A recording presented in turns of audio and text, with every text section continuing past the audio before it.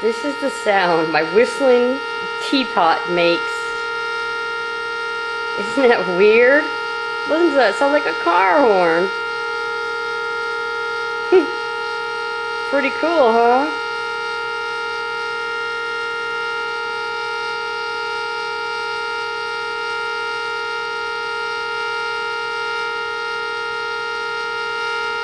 That will get somebody's attention, huh?